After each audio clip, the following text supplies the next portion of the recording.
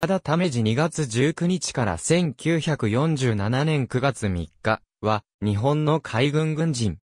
最終階級は海軍少将。奈良県出身。岡田東四郎の息子として生まれる。1917年11月、海軍兵学校を卒業。1918年8月、海軍少尉に任官。海軍法術学校高等科で学んだ。1923年12月、比叡分隊長となり、ドイツ駐在、軍令部出資、青葉分隊長などを経て1930年11月、海軍大学校を卒業。1930年12月、第1水雷戦隊参謀に就任し、軍令部参謀、第11戦隊参謀などを歴任する。1934年11月、海軍中佐に昇進し1935年3月、軍令部出資となり、軍令部部員となる。2.26事件の際、海軍に対し放棄部隊が地震らの拠点に海軍将校を1名派遣することを要求してきた際に岡田が派遣された。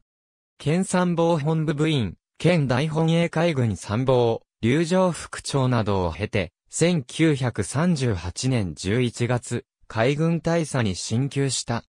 1938年12月、八重山艦長となり、軍令部第1部、第2課長兼大本営海軍参謀などを経て、1941年9月、利根艦長に発令され、太平洋戦争を迎え、真珠湾攻撃、インド洋作戦、ミッドウェー海戦に参加。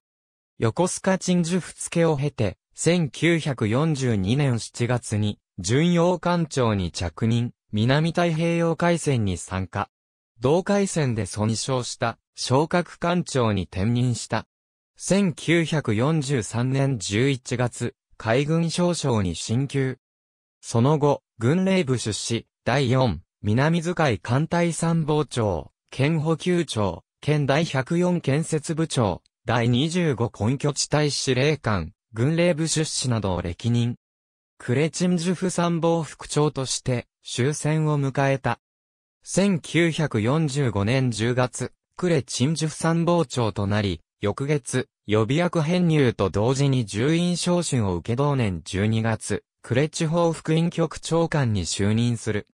1946年2月、第2副員省出資となり、翌月に従員招集解除となった。その後、第25根拠地帯司令官時代の捕虜、処刑容疑により、戦犯容疑をかけられ、死刑判決を受ける。1947年9月、日本からラバウルへ連行され、刑が執行された。ありがとうございます。